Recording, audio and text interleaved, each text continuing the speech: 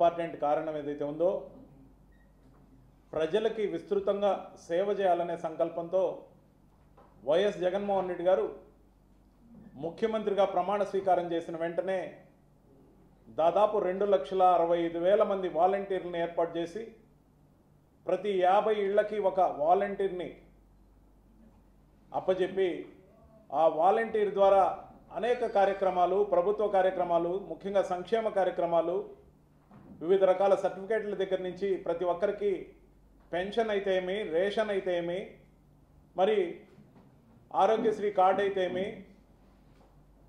Birth certificate దగ్గర నుంచి అనేక డాక్యుమెంట్లకు సంబంధించిన ప్రతి సేవ కూడా వాలంటీర్లు తమ బాధ్యతగా తీసుకొని సేవా దృక్పథంతో ప్రతి ఇంట్లో కూడా అర్హులందరికీ అన్ని సంక్షేమ కార్యక్రమాల గురించి అవగాహన కల్పించి ఆ అవగాహన కల్పించిన తర్వాత డెబ్బై రెండు గంటల్లోనే హక్కుదారులు అంటే లబ్ధిదారులుగా ఎవరైతే ఉన్నారో వాళ్ళని కులం మతం ప్రాంతం పార్టీలకు అతీతంగా ఏదైతే సేవ చేసిందో ఈ వైఎస్ఆర్సీపీ ప్రభుత్వం వాలంటీర్ల ద్వారా అప్పటి నుంచి కూడా టీడీపీ ప్రభుత్వం కానీ టీడీపీ పార్టీ కానీ మరి చంద్రబాబు కానీ లోకేష్ కానీ ఎల్లో సిండికేట్ కానీ ముఖ్యంగా ఈనాడు ఆంధ్రజ్యోతి కానీ వాళ్ళ ఛానల్స్ కానీ విషం చిమ్ముతూ వచ్చాయి.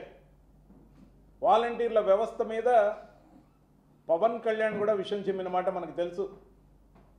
హ్యూమన్ ట్రాఫికింగ్ అని నానా రకాల కారు కోతలు కూసిన మాట మనం చూసాం ఎలాగైతే ఈ ఎలక్షన్ ఈ ప్రభుత్వం చేసిన సేవా దృక్పథం వాలంటీర్ల వ్యవస్థ ద్వారా బలీయంగా ఉందో బలపడి ఉందో గతంలో నుంచి తెలుగుదేశం అనుయాయుడిగా గతంలో ఎలక్షన్ బాధ్యతలు నిర్వహించిన నిమ్మగడ్డ రమేష్ ఎవరైతే ఉన్నాడో అతని ద్వారా ఈసీని అప్రోచ్ చేయించి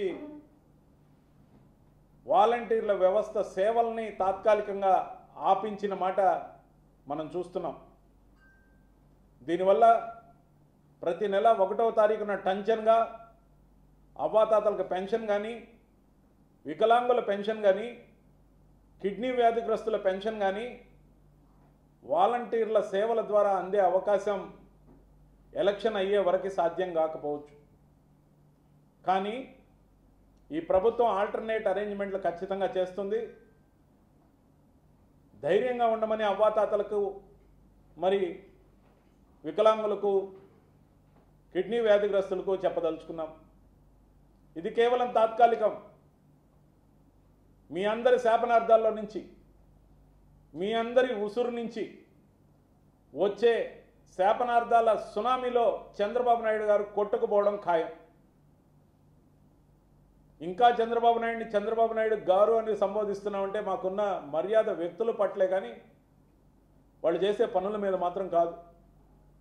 నీచాతి నీచమైన ప్రవర్తన హేయమైన మాటలు చంద్రబాబు ఏదైతే మాట్లాడతాడో ముఖ్యంగా సమాజానికి ఉపయోగపడే వాలంటీర్ల వ్యవస్థ ఇచ్చిన ప్రభుత్వంగా ఒక బాధ్యతతో ఇచ్చిన మేనిఫెస్టోలో ఉన్న నూట ఇరవై తొమ్మిది హామీల్లో నూట ఇరవై ఎనిమిది సంపూర్ణంగా అమలు చేసి ఒక్క హామీని పాక్షికంగా అమలు చేసి తొంభై తొమ్మిది శాతం కన్నా ఎక్కువ అమలు చేసిన ప్రభుత్వంగా వైఎస్ఆర్సీపీ ప్రభుత్వం ప్రజల ముందుకు వస్తూ నేను మేలు చేసి ఉంటేనే మీరు నన్ను తిరిగి ఆశీర్వదించమని ఒక హీరోలాగా ముఖ్యమంత్రి గారు ఏదైతే అప్పీల్ చేస్తున్నారో ఆయన ఒకవైపు ఉంటే మరోవైపున ఇచ్చిన హామీ పత్రం మేనిఫెస్టో రెండు వేల పద్నాలుగు దాన్ని ఎలక్షన్ అయిన తర్వాత తన పార్టీ ఆఫీస్ వెనక గొయ్యి తీసి పాతిపెట్టిన చంద్రబాబు మరీ ముఖ్యంగా వెబ్సైట్ నుంచి కూడా తొలగించిన చంద్రబాబు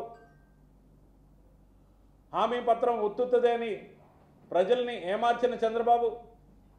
జీరో క్రెడిబిలిటీతో కేవలం వైఎస్ఆర్సీపీ ప్రభుత్వాన్ని తిట్టి ఓట్లు అడగడానికి ప్రజల ముందుకు వస్తున్నాడు.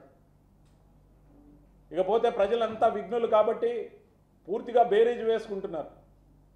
ఇన్ని మంచి పనులు చేసి హామీలన్నీ అమలు చేసిన చంద్రబాబు వైఎస్ జగన్మోహన్ రెడ్డి గారిని ఉద్దేశించి సైకో సైకో అంటాడు.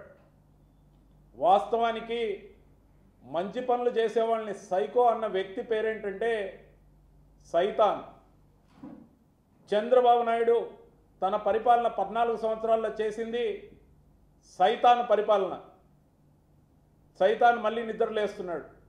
పదే పదే చంద్ర చంద్ర- చంద్రబాబు గురించి జగన్మోహన్ రెడ్డి గారు చెప్తూ వస్తున్నారు ఈ మధ్య.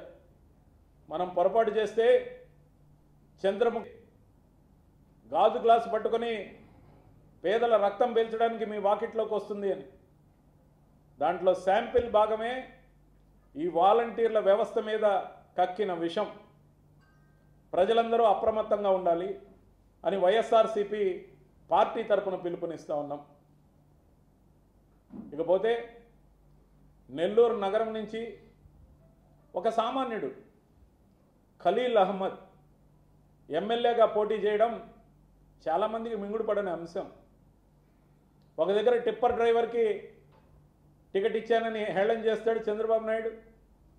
ఒక దగ్గర జెడ్పీటీసీకి ఒక దగ్గర ఎంపీటీసీకి ఒక దగ్గర వార్డు మెంబర్కి ఎంపీకి ఇచ్చిన చరిత్ర అతి సామాన్యులకు టికెట్లు ఇచ్చి తన చరిష్మాతో తన చేసిన మంచి పనులతో వైఎస్ జగన్మోహన్ రెడ్డి గారు అతి సామాన్యుల్ని ఎమ్మెల్యేలుగా ఎంపీలుగా ప్రమోట్ చేసి గెలిపించుకునే కార్యక్రమంలో ఉంటే మరోవైపున మా పార్టీ నుంచి బయటకు పోయిన కోటీశ్వర్ల సహాయంతో కొంతమంది గెలిస్తే తాను పదవిలో ఊరేగాలని చంద్రబాబు నాయుడు యొక్క ఆకాంక్ష. ఎందుకంటే తను చేసిన మంచి పనులు ఏం లేవు. కాబట్టి నెల్లూరు నగరం వరకు తీసుకుంటే ఒకవైపు ఖలీల్ అహ్మద్ జగన్మోహన్ రెడ్డి గారి అభ్యర్థిగా ప్రతినిధిగా ఉన్నాడు. మరొక వైపున సైతానైన చంద్రబాబు నాయుడు ప్రతినిధిగా బినామీల బ్రోకర్గా విద్యని వైద్యని వ్యాపారం చేసిన నారాయణ ఒకవైపున ఉన్నాడు. విద్యని వైద్యని వ్యాపారం చేసి పేదల రక్తం పీల్చి ఆ డబ్బుతో అమరావతిలో భూములు కొని ఇన్నర్ రింగ్ రోడ్ స్కామ్లో ఉండి చంద్రబాబు నాయుడుకి బినామీగా ఉండి తన డ్రైవర్లని వంట వాళ్ళని పని వాళ్ళని స్టాఫ్ని బినామీ పేర్లతో తెల్ల కార్డుల వాళ్ళతో భూములు కొని లబ్ధి పొందిన వ్యక్తి. నెల్లూరు ప్రజలందరినీ కూడా ఆలోచించమని అడుగుతున్నా. ముఖ్యంగా ఇరవై ఐదు ఇరవై ఏడేళ్ళ క్రితం నుంచి ఈ వైద్యం విద్యని వ్యాపారంగా మార్చిన నారాయణ వేల కోట్లకు పడగలెత్తాడు ఒక కార్పొరేట్ ఈ రోజున. నెల్లూరు సిటీ కానీ నెల్లూరు రూరల్కి కానీ నెల్లూరు జిల్లాకు కానీ ఏమైనా ఒక్క మంచి పనైనా ఒక్క సేవాభావంతో చేసిన పనైనా ఉందా గమనించమని అడుగుతా ఉన్నా. ముఖ్యంగా కార్పొరేట్ రెస్పాన్సిబిలిటీతో కానీ ప్రైవేటు విద్యా సంబంధ సంబంధించిన విద్యా సంస్థలకు సంబంధించిన రూల్స్ అండ్ రెగ్యులేషన్స్ ప్రకారం కానీ దాదాపు పేదవాళ్ళకి ఇవ్వాల్సిన పర్సంటేజ్ ఆఫ్ సీట్లు ఇచ్చాడా అని అడుగుతున్నా తన విద్యాలయాల్లో కనీసం టాయిలెట్ల సౌకర్యం బాగలేకున్నా ఫైర్ ఎగ్జిట్లు లేకపోయినా నాలుగిటికి లైసెన్స్ తీసుకొని నలభై విద్యాశాలలో నడిపినా చంద్రబాబు నాయుడు హయాంలో బాగా జరిగింది. ఈ రోజున ఒక సామాన్యుడు ఒకవైపు ఉంటే నారాయణ అనే రోగ్ ఒకవైపు ఉన్నాడు. మరి నారాయణ కార్పొరేట్ కంపెనీకి విద్యాసంస్థ పేరుతో అధినేత కావచ్చు. ఇతన్ని రోగ్ అని నేను తీవ్రంగా ఆరోపిస్తున్నాను అనుకుంటే పొరపాటు. ఈ మాట నాది కాదు. అతని తమ్ముడి భార్య ప్రియాది. అనేక సంబంధ సందర్భాల్లో మీడియా ముందుకొచ్చి క్యాన్సర్ పాలిట పడ్డ వ్యక్తి అయినప్పటికీ అనేక నిజాల్ని చెప్పడం జరిగింది. ఏ రోజు నారాయణ ఖండించలేదే? అంటే మౌనం అంగీకారమేనా? అంగీకరించినట్టేనా మీ నేరం అని అడుగుతున్నా. ఎంతోమంది ఆత్మహత్యలు చేసుకున్నారు నారాయణ విద్యాలయాల్లో. వాటికి సమాధానం లేదు బాధ్యత లేదు సోషల్ రెస్పాన్సిబిలిటీ లేదు. ఈ రోజున నెల్లూరు నగరంలో ప్రత్యక్షంగా చూస్తున్నా గత కొన్ని వారాలుగా ఇక్కడే ఉంటున్నా. నెల్లూరు వాసి అయినప్పటికీ నేను హైదరాబాద్లో ఉంటున్నాను కాబట్టి ఈ మధ్య సాయిరెడ్డి గారి కోసం ఇక్కడే ఉంటున్నా. చూస్తుంటే మా ప్రచారం కార్యకర్తలతో జనంతో బ్రహ్మాండంగా జరుగుతుంటే ఆయన విద్యాశాలలో ఎవరైతే పనిచేస్తున్నారో ఆ స్టాఫ్తో వాళ్ళ చేతికి పాంప్లెట్లు ఇచ్చి అపార్ట్మెంట్లో ఎక్కి దిగి ప్రచారం చేయమని కోరుతున్నాడు.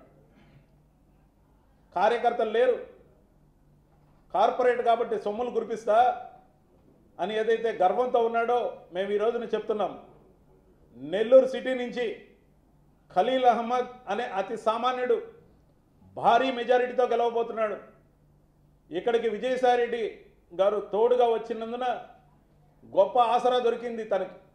ఒకవైపు జగన్మోహన్ రెడ్డి గారి ఫోటో అతని ప్రతినిధిగా జగన్మోహన్ రెడ్డి గారి ప్రతినిధిగా ఉండడంతో పాటు విజయసాయిరెడ్డి గారి యొక్క అండదండలు పుష్కలంగా ఉన్న ఖలీల్ అహ్మద్ గారు భారీ మెజారిటీతో ఈ కార్పొరేట్ని సోకాల్డ్ రోగ్ ఎవరైతే నారాయణ ఉన్నాడో అతన్ని చిత్తు చిత్తుగా ఓడించబోతున్నాడు.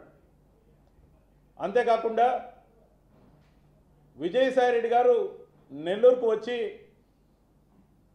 పార్లమెంటుకి డైరెక్ట్గా పోటీ చేయటం మన అదృష్టం. ముఖ్యంగా లోక్సభకు పోటీ చేయడం మన అదృష్టం.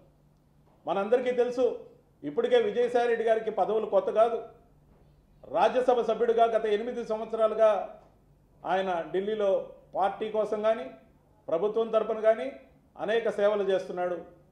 అనేక కమిటీల్లో మెంబర్గా ఉన్నాడు.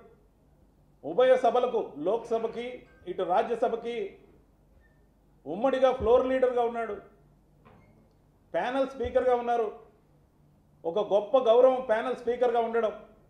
అలాంటి గౌరవాలన్నీ పొందిన తర్వాత అనుకోని పరిణామాల మధ్య మనం పార్లమెంట్ అభ్యర్థి అనుకున్న వ్యక్తి ఖలీల్ అహ్మద్ గారి అభ్యర్థిత్వాన్ని వ్యతిరేకించి మన నుంచి దూరమైనందున మన అదృష్టంతో పుట్టిన గడ్డకు సేవ చేసుకునేందుకు విజయసాయిరెడ్డి గారు ఇక్కడికి రావడం మనందరి అదృష్టం. ఇప్పటికే భారీగా ఏడు నియోజకవర్గాలకి ఏమేం చేయబోతున్నారు? ముఖ్యంగా ఎయిర్పోర్ట్ని ఏ విధంగా తీసుకురాబోతున్నారు? ఎక్కడెక్కడ అండర్ పాస్లు కావాలి? ఫ్లైఓవర్లు కావాలి? పరిశ్రమలు ఎలా తేవాలి? ఏ విధంగా రెండు పోర్ట్లు మనకి ఇటు కృష్ణపట్నం కానీ అటు రామాయపట్నం కానీ ఉన్నాయో ఆ ఎయిర్పోర్ట్ కూడా వస్తే పారిశ్రామీకరణ ఉధృతంగా జరిగితే నెల్లూరుకి జరిగే మేలు కోసం తాను ఏం కృషి చేయబోతున్నాడో ఒక మేనిఫెస్టో ద్వారా రాబోయే రెండు మూడు రోజుల్లోనో ఉగాదిలోగా వెలువరించే అవకాశాన్ని మీరు చూస్తారు. కాబట్టి విజయసాయిరెడ్డి గారి గెలుపు ఎప్పుడో సునిశ్చితమైంది. కానీ మెజారిటీ లక్ష వస్తుందా రెండు లక్షలు వస్తుందా అనేది మీరే చూస్తారు. ఏడు నియోజకవర్గాలకి ఏడు నియోజకవర్గాలు ఖచ్చితంగా గెలుపు ఖాతాలో వైఎస్ఆర్సిపి తీసుకుంటుంది. కొంతమంది పారిశ్రామికవేత్తలు కొంతమంది లీడర్ల స్థాయిలో ఉన్నవాళ్ళు పార్టీలు మారి ఉండొచ్చు డబ్బు ప్రభావంతోనో మనుషులతో ఉన్న సాన్నిహిత్యంతోనో. కానీ విధానాల పరంగా వైఎస్ఆర్సీపీ విధానాలు నచ్చిన ప్రతి ఒక్కడు ప్రతి సామాన్యుడు ప్రతి పేదవాడు ప్రతి సంక్షేమ కార్యక్రమాన్ని అందుకున్న లబ్ధిదారుడు జగన్మోహన్ రెడ్డి గారి యొక్క అభిమాని. తను చేసిన పనుల ద్వారా సంపాదించుకున్న అభిమానం తన ప్రతినిధిగా ఎవరైతే నిలబడ్డాడో అది ఎమ్మెల్యే కానీ ఎంపీ కానీ అన్ని సీట్లను కూడా వైఎస్ఆర్సీపీ గెలుచుకునే విధంగా ముందుకు పోతోంది. అసలు విషయాల కన్నా కొసర విషయాలకు ప్రాధాన్యత ఎక్కువని కొందరు అమ్మం బాపత్గాళ్ళు ముఖ్యంగా నెల్లూరు నల్లబాలు. ఆనం వెంకటరమణారెడ్డి ఇతన్ని వెటకారం వెంకటే అని కూడా కొందరు అంటారు. వెటకారం పాలు ఎక్కువ వ్యవహారం ఏమి ఉండదు. అదిగో ఆధారం ఇదిగో ఆధారం అంటారు నాలుగు పేపర్లు తెస్తారు మీరు ఎలాగో చూసేది లేదు మీకు ఆ కాపీలు ఇచ్చేది లేదు. అయినా మీకు కాపీలు ఇస్తే మీరేమన్నా సిబిఐయా ఈడీనా లేకపోతే పరిష్కారం మీరు చేస్తారా కాకపోతే పేపర్లో వచ్చేస్తారు వచ్చేసిన తర్వాత ఎంక్వైరీ జరగాలి. మేము ఛాలెంజ్ విసురుతున్నాం ఈ ఎటకారం వెంకటికి ఈ నల్లబాలుకి. నీ దగ్గర నిజంగా ఏ సమస్యకు సంబంధించి అయినా విజయసాయిరెడ్డి గారి గురించి అయినా జగన్మోహన్ రెడ్డి గారి గురించి అయినా నిర్దిష్టమైన ఆరోపణలు చేస్తున్నప్పుడు వాటి గురించి కోర్టులు ఉన్నాయి అనేక సంస్థలు ఉన్నాయి వాటిని దర్యాప్తు చేయమని నువ్వు నీ నాయకుడి ద్వారా అప్రోచ్ కావచ్చు లేకపోతే నువ్వే అప్రోచ్ కావచ్చు కోర్టుకు వెళ్ళవచ్చు.